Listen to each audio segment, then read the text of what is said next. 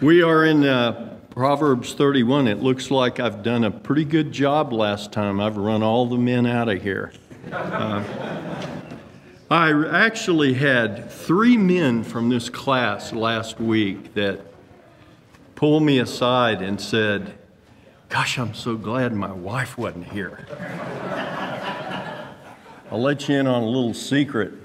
My wife, uh, she was listening from uh, the Zoom broadcast or the streaming broadcast. I, I don't know technology, but um, and she was she had been looking forward to this section of Scripture. And uh, so that's nothing like having a heat lamp put on your forehead. Uh, and she heard Warren's prayer, and then it went blank and uh, she spoke to me about her frustration. And I tell you, I said, Thank you, Lord. Thank you for your goodness to me uh, every day. Uh, we are in the virtuous woman, Proverbs 31. Uh, we'll begin with verse 10 because we didn't really get through verse 10. Uh, and as we pointed out last time, this is an acrostic, so it's a, a device to help one memorize uh, this particular text, and it teaches us that there is uh, a great deal of forethought, forethought uh, that this particular section of Scripture was well thought through, uh, crafted carefully, by a pen and by a wise and thoughtful servant. So here we begin 3110 this morning uh, with verse 10, which is our uh, English A. A valiant wife, you may have noble, you have any number of uh, of names that are uh, addressed to that. A valiant wife who can find. Her prize is far above corals, jewels, gold. That's the idea. Very, very precious and valuable. Uh, B, verse 11 the heart of her husband trusts in her. He does not lack spoil. It's very uh, interesting verse. Uh, it, we're talking about her value, and then uh, and we're talking about her the rarity of her, and it reflects upon her husband and upon his uh, material gain. What's that all about? Well, that's my job. Uh, here's verse 12. C. She does him good and not evil all the days of her life. Verse 13 is our D. With her palms, I'm sure you have hands, but it's actually the word palms. She selects diligently wool and flax. H is verse 14. She becomes like a trading vessel. She brings her food from afar. And verse 15 is the equivalent to our V or W. And she arises while it is still in the night and provides for her household the quota, or you may have uh, portions, to her servant girls. Verse 16 is uh, the equivalent of the Hebrew Z uh, she considers a field and purchases it from the fruit of her palms, hands. She plants a vineyard. Verse 17, an H, she girds her loins with strength. And this almost seems redundant, but this is actually how the text reads. She girds her loins with strength. She strengthens, same word, her arms for the task. So that's up to 17, and we'll try to get through that material uh, this morning. So I have to ask you men, how'd you do this past week? You know, the little things that we talked about. It's the little things. Um, I, I told you about Martyn Lloyd-Jones taking a motor car, he said, to a great distance to preach at a church after he had, uh, had finished uh, ministering in his career at Westminster. So he did a lot of itinerant teaching.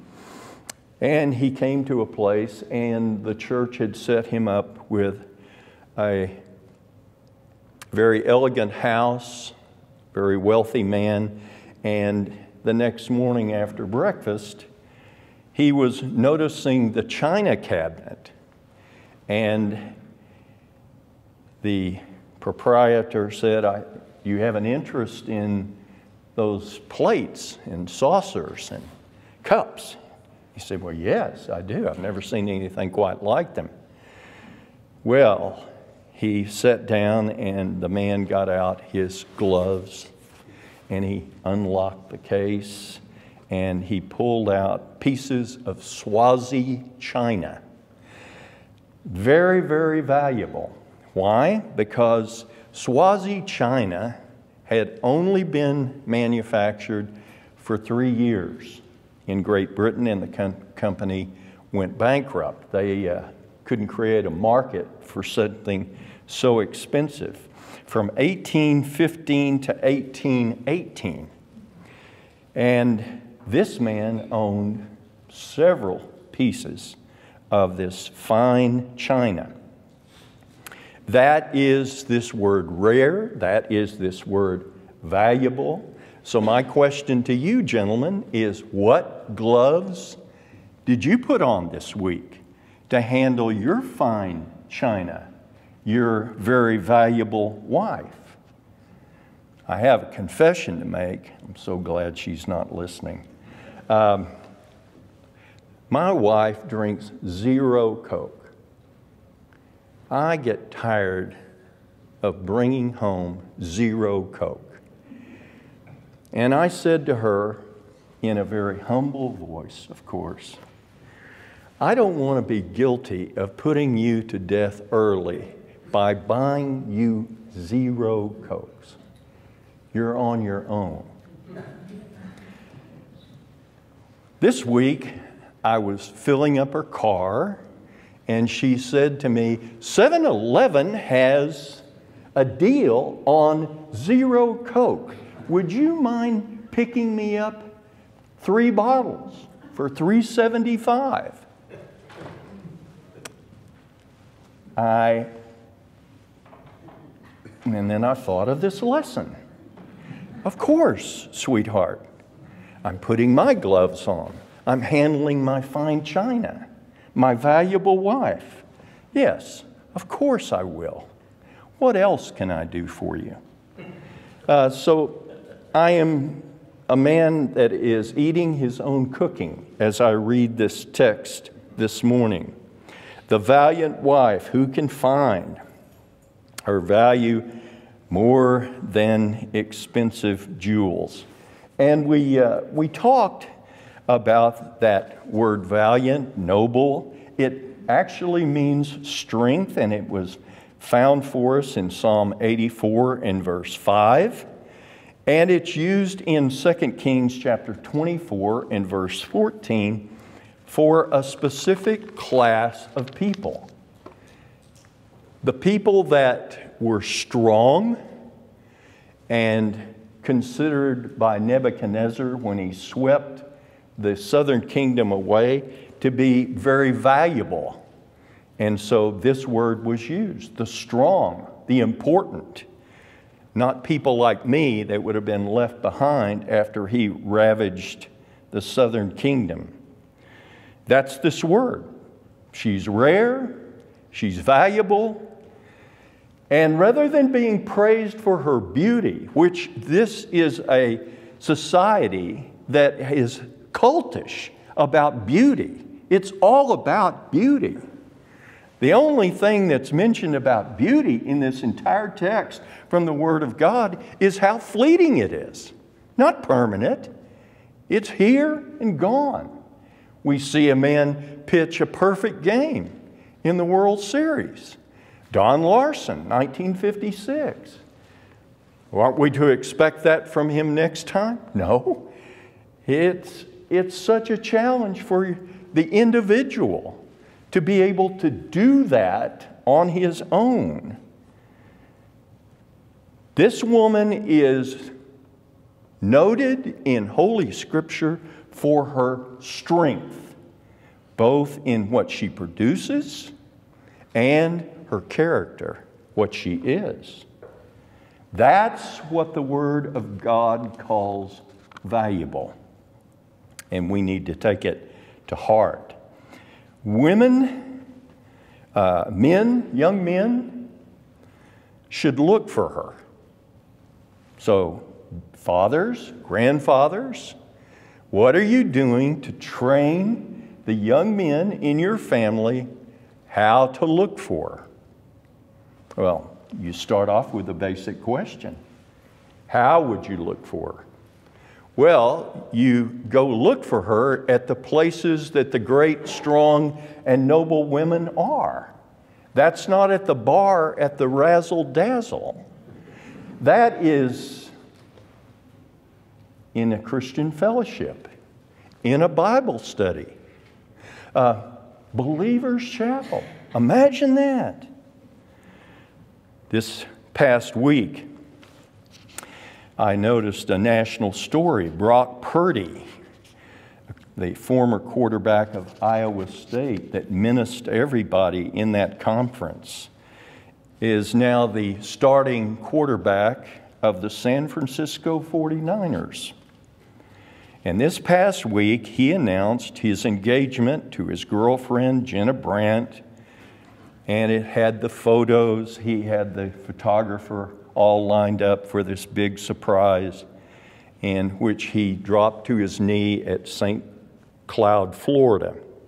And he wrote this My Jenna girl forever, can't wait to be your husband and grow together in Christ. Very powerful testimony. But in reality, ladies, the most experienced woman that your son, your grandson has is you. You're the one that can teach him about women. After all, you have direct access to him. So I ask you, ladies, what are you doing to train your children, your grandchildren, about the kind of woman to look for. The men need to know where to find her, and the women teach the men, the young men, the things to look for about them. As I said, young men want to look for her, older women desire to be like her. My wife has been a Bible study fellowship leader, I think, for 27, maybe 28 years. Uh, I never got my brain around how important her job was until I stopped working and uh, on a daily basis and was at home and saw this tremendous schedule that she runs. And then the coup de grace to it all is somebody took pictures of her class from the balcony in the back of the largest church in Edmond, Oklahoma. It seats 850 people. She had 700 women there. I was awestruck, couldn't believe it. Now, about 15 years ago, she came home after being in a seminar for several days, and she had to tell me about meeting her new hero in life. Her name was Rosemary Jensen. Rosemary Jensen had committed her life to Christ as a young girl and desired to go to the mission field. And so she took up nursing and training. Along the way, she meets a doctor who is also committed to going to the mission field, and they married. And together, in the mid 50s, 1950s, she took a boat with her husband to Africa. It wasn't long before she had two daughters. And here she says she learned to pray with agony. She didn't want her daughters to have to leave at a certain age on the mission field to go get an education. She agonized over it. Lord, let me keep these girls. How would God answer that prayer? The very year that she was to send them off, the military base of the United States announced they're starting an elementary school. Imagine that. She learned. The virtuous woman learned. If you analyze her life, it's in concentric circles like a target. The black center of the target was her husband and her family. And as you listen to her, or as my wife explained it to me, uh, as she was faithful in the target itself, God gave her another circle and another and another over a period of time. My wife said the thing that was fascinating about it all is that when she was lecturing to us ladies, she didn't do what I had seen done a dozen times before creating a priority list. You know, starts here at the top God, your husband, your children. She didn't do that. What she did was draw a circle. And the center of the circle was your relationship with the Lord. That is the center. That needs to be guarded, protected more than anything else because you see, then she puts the arrows out from that. That affects how I treat my husband. That affects how I raise my daughters. That affects all the things that I'm involved in doing for the Lord. The sinner has to be protected above all things. Well, needless to say, my wife came back. She was on cloud nine. She had met and actually had lunch at a very large table with 10 other women with Rosemary Jensen. Rosemary Jensen eventually came off the mission field in Africa, got back to the United States, and in the providence of God, she met Ethel Johnson. Ethel Johnson had been a prisoner of war in World War II. She was in very poor health and she convalesced in San Francisco. And a group of women approached her Will you teach us the scriptures? They asked. And of course, being the obedient servant that she was, she said, No. I don't want to have anything to do with you. Why? They said. They pressed her. Week after week, they pressed her. Finally, she said, Okay, we'll do this under one condition. I'll write the notes and you're going to take the notes and you're going to be responsible to come. This is not once and then see you in six months. No, you're going to be required to be attendant. And that is the formation of Bible Study Fellowship. And imagine of all places in all the world that it began San Francisco, California. Well, I imagine that Ethel Johnson and Rosemary Jensen locked in service and fellowship because they both had been missionaries. And it wasn't long before Rosemary Jensen was handed the keys to Bible Study Fellowship in San Francisco.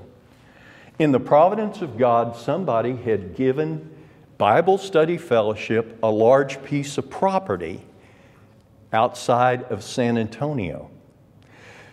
It was so far outside the city limits that the utilities had, were not even reaching anywhere near the property. In order to build that into a campus for training, for Bible study fellowship, they had to have water. That was the first priority. So they brought a company in and they did scientific tests by drilling some holes and contouring everything. And here we go. Here's the water well. First hole, dry. Second hole, dry. Third hole, dry. Rosemary said, You need to leave. Here's what I need to do I need to walk this property and I need to pray. And I need to spend one day talking to the Lord. And that's what she did. And at sunset, she comes in and announces that the Lord had showed her the place. Well, that didn't fit the contours of the map at all. The professionals knew much better, but they did drill the hole right there and they found water. Now, don't ask me to explain that. I can't explain that. There's nothing about that that I understand. I believe it. And here's what I also believe one woman, one woman who trusts God and who holds on to the center of that wheel, that personal relationship that she has with Jesus Christ. And that's her top priority. And God honors the target, and He expands to the next circle, and the next circle, and the next circle. You see, back when Rosemary Jensen got Bible Study Fellowship, here's how women went to Bible study. They had little pillbox hats and little fishnets over their eyes. They had high heels and everybody was dressed in dark. They wore white gloves to their wrist or longer. That's just the way it was. Rosemary Jensen brought them into the new century. Women started wearing pants. It was the call to the soccer moms that drive the recreation vehicles, that have busy schedules, putting their children in and out of various and sundry games after school and during the weekends. Don't I know? We did it all. But she transformed Bible Study Fellowship from a small to a large class in San Francisco moving it to San Antonio, Texas, and it became Bible Study Fellowship International all over the world. That's what God can do with a simple woman who trusts Him, who believes in Him, who listens to Him, and who agonizes in prayer for the things that she knows that God wants most. Ladies, it's hard to make a living in America. It's very difficult. We have inflation. We have an increase in taxes, always have an increase in taxes. These men that you're joined to work incredibly hard, long hours. I remember, I really look back on it, I was out of the will of God for my company when I actually merged it in 1989. I was working seven days a week. My wife was worried about me, and God rescued me by merging the company. Your husbands work hard, they are diligent, and it takes hours to be productive. And your schedule is loaded, but here is the key you have the time and the energy and the focus to do the really big things like pray. Pray, pray, pray. What God can do with one single woman that trusts Him and pray. That's why our text says she's priceless, which fits Proverbs 23 23. Buy the truth, don't sell it. Buy wisdom, buy instruction, buy understanding. Jewels, rubies, very precious. Her energy for her family, her abilities, her know how is all laid out here for us. And she is a blessing.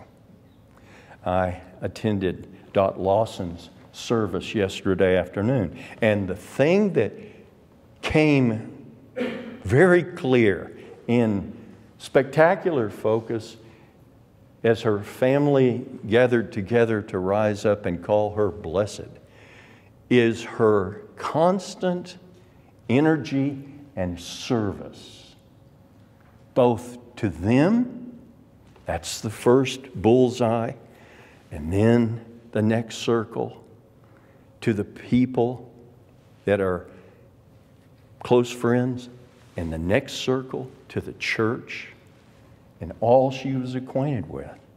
She left a blazing trail for a road model for anyone Verse 11, this acrostic B the heart of her husband trusts in her. He does not lack spoils. You may have the word gain. It's a very common word in the Old Testament. It refers to plunder, to booty, to spoil. Eh, here's the word. It's found in Psalm 119 and verse 62. I think the clearest reading is from the New American Standard. I rejoice at your word like one who finds great plunder. There's the word. So think of it this way it's just an ordinary afternoon for you, and you get a call from an attorney that you had never heard of, but you listen to the legalese of the Bradford, Bairton, Bobble law firm, downtown Dallas, Texas. Okay? Uh, we would like for you to come down and sign some papers. It turns out we have been looking for you for a long time. And, sir, you are the only heir of a baron in Europe that we have been able to find. And now you come down, sign all of this information in our boardroom, and you are going to walk out a very wealthy man. That's this word. That's what she is. She is like treasure, like great spoil, great plunder. How in the world did you get her? Isn't that what we always say? My goodness, the things that she is able to do. Here is how she is prized, according to the proverb. She's prized like the very word of God. Notice her, the heart of her husband trusts in her. That word trust is a familiar word that we've looked at many times in the book of Proverbs. It's a very familiar word, as you can imagine, in all the Old Testament. It means reliable. Now, I drive down from Oklahoma City and I drive back from Dallas to Oklahoma City. And every week, week in and out, I have to cross the Red River. it's about a quarter of a mile. I don't drive, park my car, get my flashlight out, look underneath the bridge. I wouldn't even know what I'm looking for. And wonder, is this reliable to hold my car? I don't do that at all. I trust the bridge. That's this word. It is reliable, it is consistent. That is what she brings to her husband. She's consistent for him as the scriptures refresh a man's soul, so she refreshes him. And why does her life display that constant pattern of such reliability? Well, look at verse 30. Here's your purpose clause because she fears the Lord. Now, we have been teaching Proverbs since 2016, believe it or not. And we have looked at that word over and over the fear of the Lord, that phrase. What is it? Essentially, if you read all the material up and down, in and out, this thought, that thought, this writer, that writer, looking at it from every angle, to fear the Lord simply means your relationship to Him. It is the equivalent of the New Testament walking by faith, walking in the Spirit, as Paul would put it to us in the book of Galatians. That is living in the fear of the Lord. John Reed was a professor of homiletics at Dallas Theological Seminary. And John Reed preached in that auditorium back in the 70s or perhaps early 80s. And here was his text James chapter 5 and verse 16. He preached the big idea of the text. That's the way we were taught to preach, the big idea. And here was his big idea the effective, fervent prayer of the righteous gets a lot done. That was his big idea. What does James say to us in the New Testament equivalent of oftentimes the book of Proverbs? It's James chapter 4 and verse 2. You have not because you ask not. Look at the invitation that the scriptures afford us, the welcome mat the double doors that swing wide open from the Lord to us. Here it is Matthew chapter 7, 7 and 8. Ask, it'll be given to you. Seek, you'll find. Knock, the door will be open to you. And everyone that asks receives, and the one who seeks finds, and the one who knocks, the door will be open. What we want to do as prayer warriors is make sure that the desires of our heart match exactly what we know to be the desires of our great God. And so we pray on that basis, all in accordance with His will. And sometimes He says yes immediately, sometimes He says no, and sometimes he says, wait. That's normally the case. We're always waiting, aren't we? Well, wait. Trust him. He works over time. That is his wise way with us. The result of this woman's reliability, notice the text, her husband has no lack, meaning emptiness. She satisfies him completely. And why wouldn't she? We talked about it last time. The sovereignty of God. Do you believe in the sovereignty of God? You can't hang around Believers Chapel much without learning the sovereignty of God. And what was the sovereignty of God in the garden? That the Lord God Himself brought the woman to the man. And what did He say? She matches me perfectly. That's the idea. God has sovereignly put you together. You say, Well, I had a lousy husband. I've got a lousy husband. I've got an unbelieving husband. I've had a very difficult marriage. What should you do? Run? Run away? No. You remain in the condition that you're in, said the Apostle Paul. Stay and pray. Stay and pray. Stay and pray. God is at work in you, for you, by you, through you. All things are working according to his good and perfect will for your life. She is the one who satisfies him completely. And notice how this is summarized in verse 12. That's the letter G. She does him good and not evil all. That's the most important word in the entire proverb. All the days of her life, the extent, the duration that she brings to every area of his life because she's guarded the center, the center of the wheel, her relationship with the Lord. That relationship makes her powerful, even over an unbelieving husband.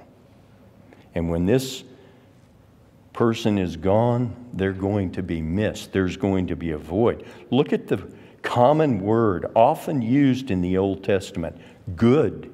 That's what she brings. She brings value in every situation and occasion and not evil.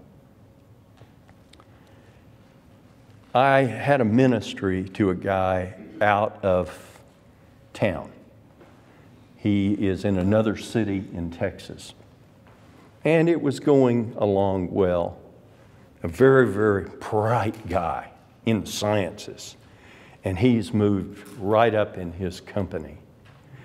And uh, with one promotion after another and one success after another, he decided that he needed to streamline himself, so he turned over the, all the finances of the household to his wife, all of them. She wrote the checks, she kept up the balances.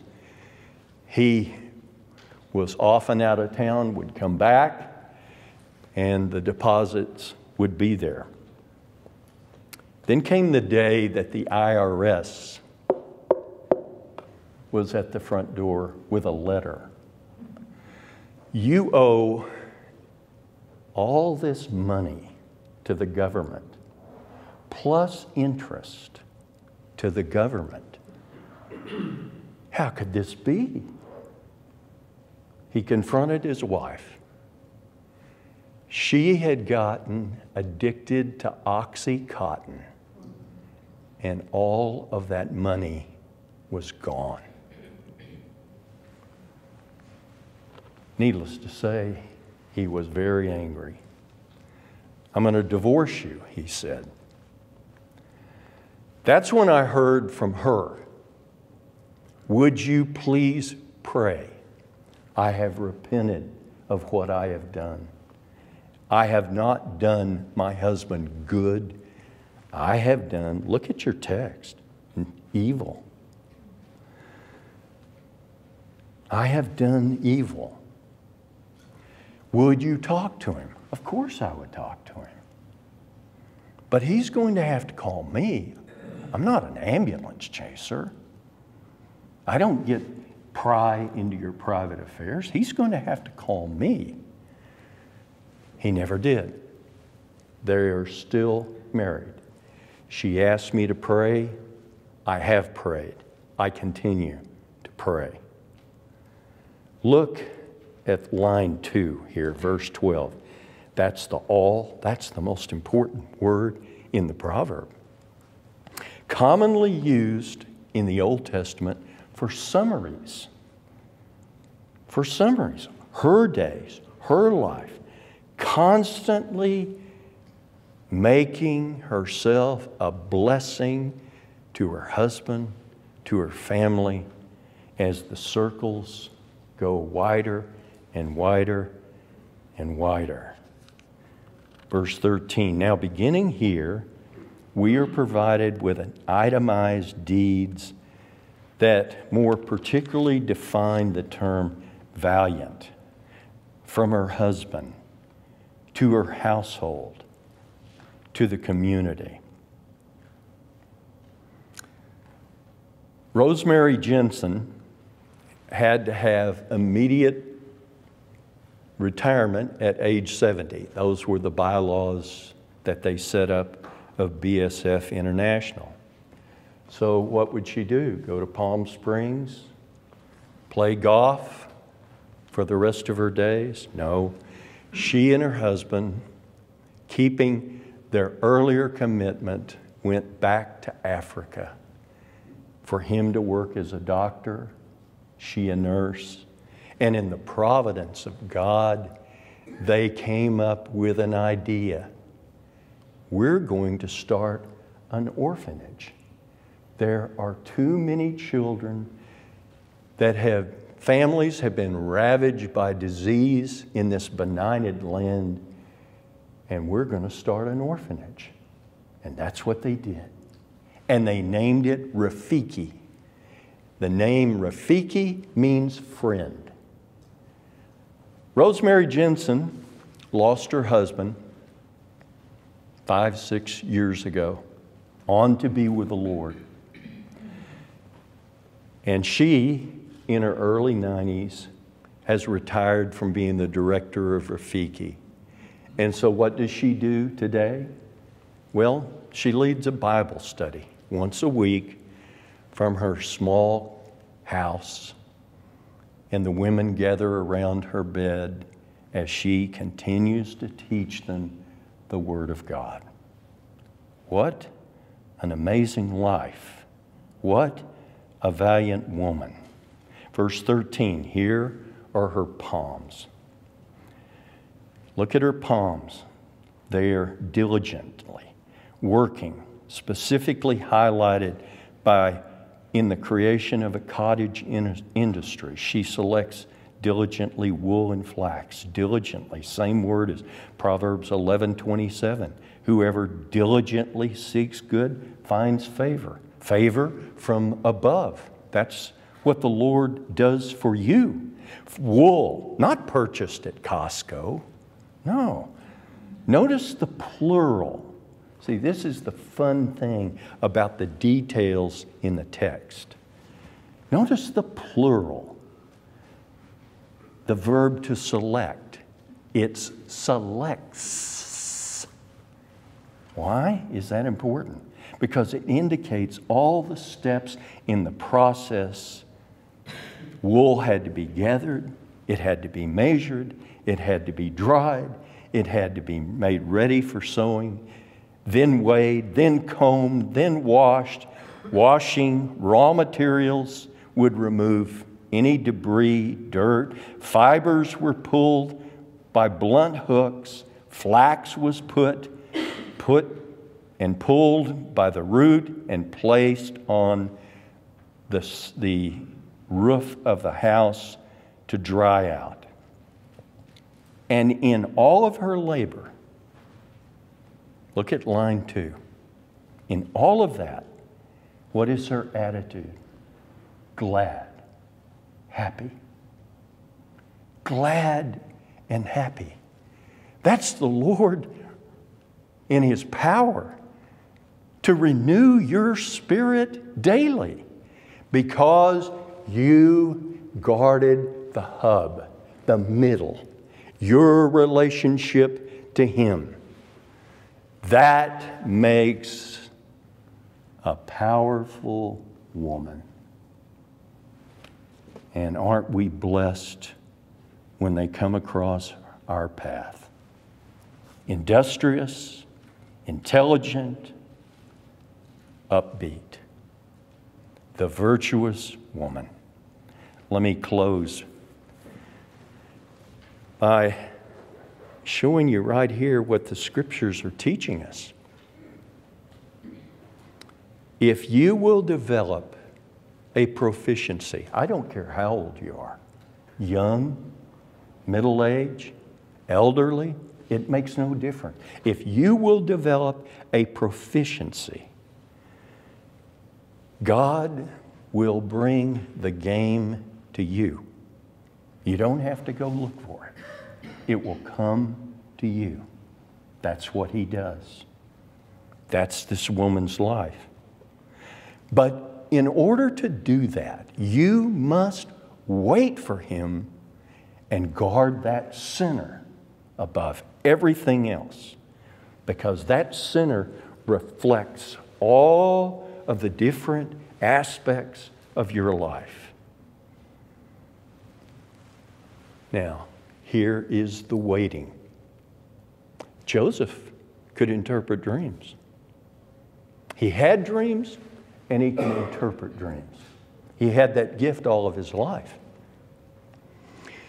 Till that came that day when Pharaoh called him in. And here's the opening lines right there in Genesis from Pharaoh's throne room. I have heard it said to me that you can interpret dreams. I had a dream. I want you to tell me. Now, Joseph could have said, Dreams? Dreams? Look, Pharaoh, I've had it up to here with dreams. All my life, I've, I've been able to interpret dreams. All my life, I have seen dreams.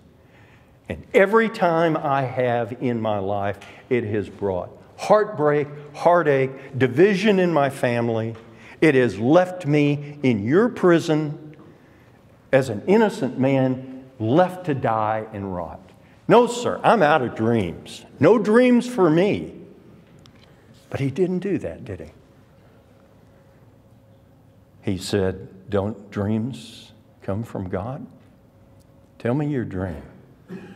I'll interpret your dream. He waited upon the Lord. He trusted in the Lord and he stayed at it. At it. And what did God do?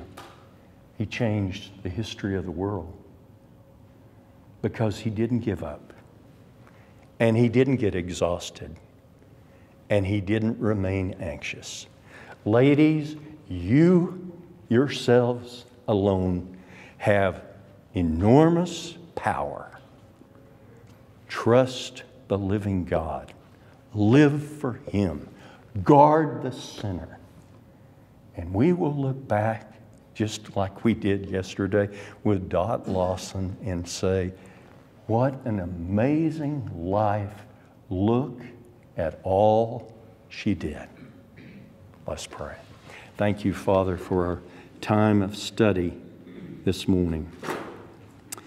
May the power of Jesus Christ through the Holy Spirit imbue these women here today with great strength that comes from above and use them mightily for your service to us men, husbands, friends, people at church however you choose to use them, to change our lives for the better.